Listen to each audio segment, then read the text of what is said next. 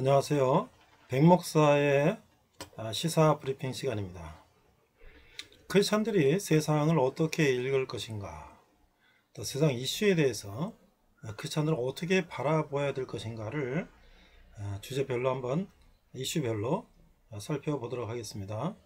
오늘은 이탈리아 출신의 공산주의자 그람시라고 하는 사람의 기동전 대 진지전 이런 제목으로 우리가 한번 어, 이슈를 따라잡아 보겠습니다. 최근에 에, 유튜브에 보면 그람시라고 하는 사람의 이야기가 많이 나옵니다. 에, 그람시는 1891년에 태어나서 1937년에 사망했는데요. 이탈리아 어, 사르디니아에서 태어났어요. 어, 4살 되던 해에 하녀가 그를 떨어뜨려서 어, 꼽추가 된 후천성 장애인이라고 합니다. 사진에 보면 큰 얼굴이 이제 그람시가 되어 있고요. 아, 밑에는 이제 무솔리니가 되겠죠. 자, 대학 시절 튜린닥에서 사회주의 운동에 참여를 했습니다. 1917년 러시아 혁명이 일어나자 프롤레타리아의 글을 쓰면서 왕성한 활동을 한 사회주의자입니다. 1921년에 이탈리아 공산당이 창설되자 중앙위원으로 선출됐고 다음해 코민텔은 국제공산당 조직이 창설되자 모스크바의 파견 근무도 한 사람입니다. 1926년 11월 이탈리아 공산당 투옥 사건에 연루돼서 1928년 징역 20년 4개월 5일을 선고받은 공산주의자 사상범이었어요. 그람시는 아, 자본주의가 빈부의 격차로 자체의 모순에 직면하다가 필연적으로 공산사회주의가 도래할 것이라는 막스의 이론을 부정했습니다. 막스는 누굽니까? 산업혁명 이후에 자본주의의 빈익분 부익부, 빈부 격차가 발생되니까 사회주의 공산주의를 만들어서 자본주의는 반드시 부패해서 망한다. 그래서 공산주의가 승리한다. 이렇게 얘기했잖아요. 그런데 이 그람시는 자, 자본주의가 빈부격차로 자체 모순에 직면하다가 필연적으로 공산주의가 도래한다는 것을 부정했어요. 왜요? 자본주의는 빈부격차가 생기지만 또 그것을 해소하기 위한 여러 가지 또 노력을 또 하겠죠.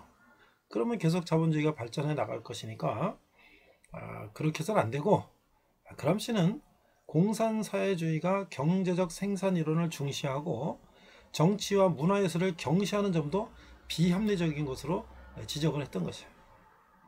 그러니까 아, 원래 이 마르크스의 공산주의 이론은 예, 이 경제적인 관점에서 자본주의의 그 그 빈부격차나 여러 경제 문제점을 어, 지적하고 아, 그것을 통해서 어, 공산주의자들이 승리할 수 있다 아, 이렇게 생각을 했는데 이 그람시는 정치와 문화예술을 경시하는 점도 비합리적이다. 그렇기 때문에 이 원래 공산주의자들은 이 앞에서 기동전이냐 진지전이냐 기동전이라는 건 뭐야? 탱크나 병력을 동원해서 그냥 밀어붙이는 거죠. 그래서 이 경제적 이론을 중심으로 해서 정치 투쟁을 통해서 에, 공산주의 사회를 에, 혁명을 일으켜서 공산주의 국가를 건설하는 것인데 에, 그런 그거 갖고는 부족하다는 거예요. 그래서 진지전이라는 이론을 얘기한 것이죠. 진전은 뭡니까? 아, 적진에다가 참호를 파고 그 안에 숨어서 여러 가지 동태를 살피고 교란 작전을 피고 적진 후방을 아, 교란해서 에, 차츰차츰 이제 적이 무너지도록 하는 것이죠. 우리 힘이 가장 셀 때는 기동전에서 밀어붙이지만 적의 힘이 셀 때는 우리가 정면전을 했다가는 우리가 지잖아요. 그러니까 어, 이런 여러 가지 그 선전선동이나 어떤 이념 투쟁이나 뭐 여러 가지 이제 문화 투쟁이나 이런 예술투쟁 뭐 이런 걸 통해서 아, 적진에 들어가서 아, 적절한 아, 그런 때를 기다리며 그런 문화투쟁을 한다는 것이죠. 그래서 그람시는 막스 레닌의 폭력혁명적 투쟁보다 이데올로기적 여건 조성을 기반으로 은밀하게 이데올로기적 헤게모니를 장악하는 점을 중시한 대표적인 사회주의 천재 사상가라고 할 수 있다. 일찍이 그람시는 자본주의 사회를 분석해서 시민사회의 대중적 동의를 획득하면 계급적 지배도 가능하다는 것을 갈파했다. 그러니까 뭐예요? 아, 마스 레닌은 러시아 혁명을 통해서 아, 이제 공산주의 국가를 건설했잖아요. 그런 러시아라고 하는 나라는 에, 러시아 아, 제국 아, 짜르 황제 시절에 어, 부패하고 빈부격차가 심하고 예, 노동, 노동자 농민들은 아, 삶이 피폐, 피폐하기 때문에 예, 그런 것이 먹혀 들어갔는데 예, 서구 자본주의 국가들 영국이나 프랑스나 독일이나 이런 국가들은 자본주의가 오랫동안 정착되어 왔고 또 그들이 스스로 자본주의 문제를 치유할 수 있는 능력이 있기 때문에 그런 국가를 이런 프롤레타 혁명 방식으로는 도저히 뒤집을 수가 없다. 그러니까 이들이 이제 주장하는 것이 문화예술 투쟁이죠. 특히 여성 문제라든지 또는 문화, 예술, 영화, 뭐 기타 등등 아, 또는 출판 이런 것들을 통해서 지금 말한 것처럼 아, 이 대중적 동의를 얻게 되면 그럼 계급적 지배도 가능하다. 그래서 우리도 이제 주위를 살펴보면 아, 출판물도 이제 여러 가지 출판물이 많이 나오는데 특별히 얼마 전에 김일성 전집이라는 출판물이 출판됐다 그래요. 지금 이승만 전집이라든지 박정희 전집 같은 거는 아, 그렇게 많이 알려지지 않고 나오지도 않은데 아, 이런 것들이 버젓이 대한민국에 출판된다는 거 보면 아, 그런 작업들을 은밀하게 하는 아, 사람들이 있다는 것이죠. 또 영화나 아, 예술 분야들 이렇게 보면 우리가 아, 그냥 유명한 배우가 나와서 아, 멋있는 남녀 배우가 나와서 남북 문제를 다루고 하니까 야 멋있다 하는데 그 이면에는 여러 가지 우리 체제에 좀 반하는 그런 내용들이 예, 많이 예, 나오고 있다는 것을 우리가 알 수 있죠.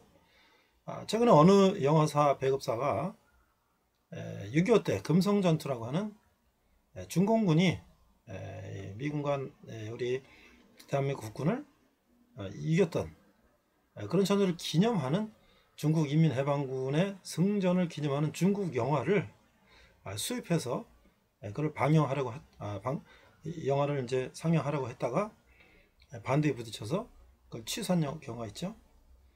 그러니까 우리 지금 주위에는 그러한 그람시의 진지전이 상당히 본격적으로 아주 꾸준하게 오랫동안 다양하게 실천되고 있다라는 것을 알 수가 있죠.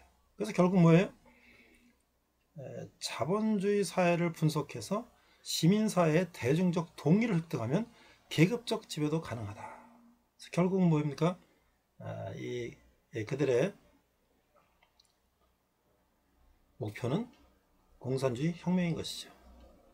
아, 우리는 아, 이런 그람시의 기동전대 진지전이라고 하는 예, 공산주의들 혁명 전략 전술 그런 것들에 대해서도 한번 잘 이해를 하고 또 우리 주위에 일어나는 문화예술 이런 분야에는 어떤 움직임들이 있는가를 예, 크리스찬들은 잘 살펴보아야 할 것입니다.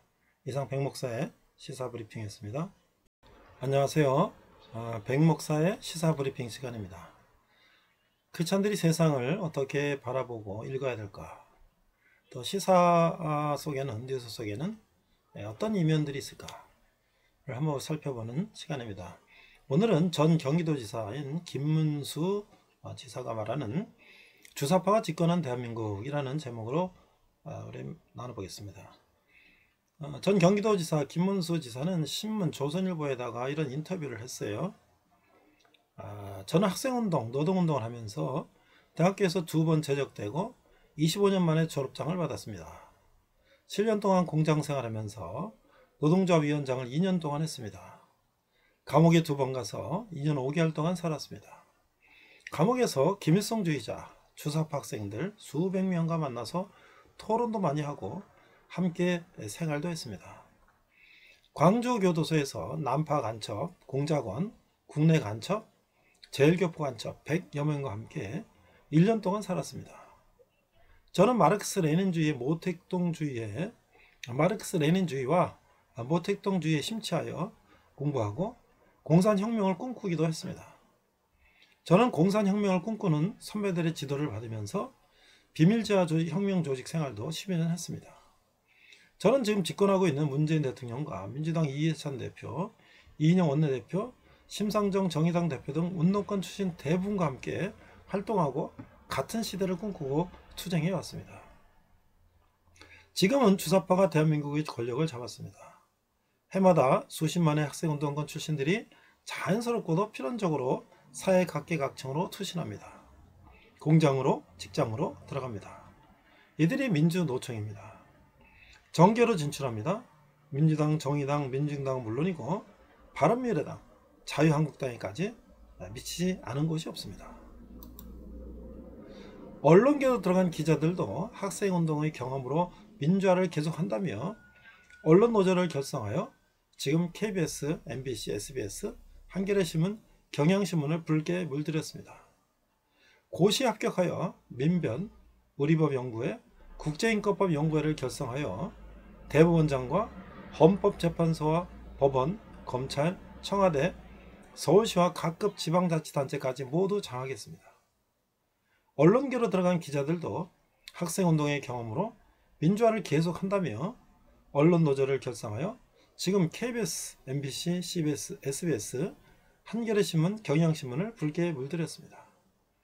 고시 합격하여 민변 우리법연구회 국제연구회를 결성하여 아, 대법원장과 헌법재판소와 법원, 검찰, 청와대, 서울시와 각급 지방자치단체까지 모두 장하겠습니다. 운동권 학생들이 교사가 되어 전교조를 결성하여 어린 학생들을 붉게 물들이고 있습니다. 영화계로 진출하여 운동권 영화를 만들어 천만 관객을 울립니다.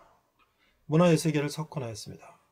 사업에도 투신하여 사업가로 성공하여 부르주아가 되었지만 그의 사상은 여전히 종북 주사파로 남아 있습니다.